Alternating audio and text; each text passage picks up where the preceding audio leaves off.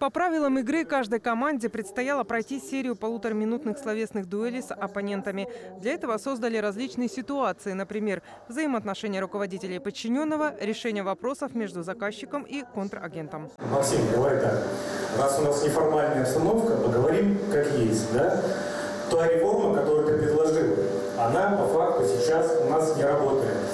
У нас сотрудники, которые работают в ведомстве, они демотивированы. Да, результаты ухудшение. Нельзя просто взять и всех сотрудников заменить просто на молодых. Нам в любом случае нужен будет опыт.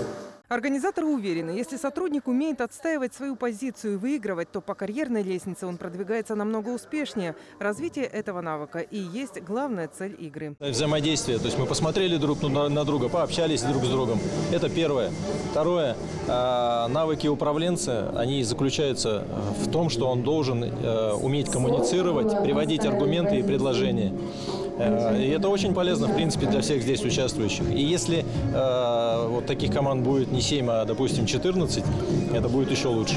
Поединки именно необходимы для того, чтобы уже и молодые специалисты, и мало того, что и руководители могли понимать уже, как в какой ситуации можно себя э, вести и аргументировать свои определенные действия для получения результата.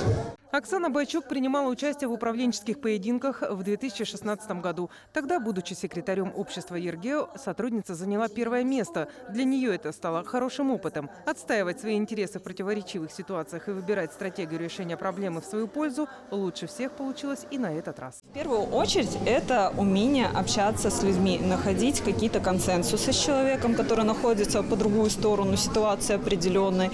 И э, научила меня, не нужно стоять жестко на своей позиции, надо уметь договариваться в первую очередь. У нас есть два формата проведения данных мероприятий. Мы проводим их среди молодых специалистов и среди уже опытных управленцев. Вот в данном случае сегодня это были э, ну, такие э, руководители э, высшего звена, включая генеральных директоров предприятий, плюс э, ну, специалисты самой высокой категории. То есть это был, была битва управленцев, самая настоящая. Ну, победили сильнейшие, проигравших здесь нет. По итогам трех туров третье место заняла команда «Новотек Энерго», второе – сотрудники районной администрации. Первое место – у Ергео. Следующая битва управленцев состоится через год. Организаторы уверили, поединки будут не менее интересными и познавательными. Елена Бенки, Андрей Пяк, Евгений Бенки, телеканал «Луч», город Таркасале.